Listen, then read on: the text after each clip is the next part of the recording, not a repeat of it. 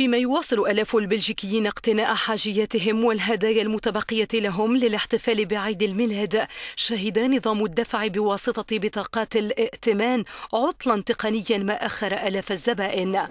نظام الدفع ببطاقة الائتمان تعطل أرجو أن تدفعوا بالأوراق النقدية.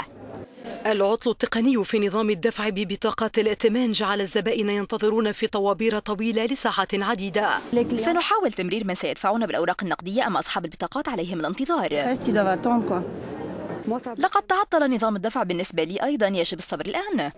وحتى لا تفسد فرحة العيد عمدت بعض المراكز التجارية في بروكسل إلى إقامة نظام نسخ احتياطي لبيانات بطاقات الائتمان.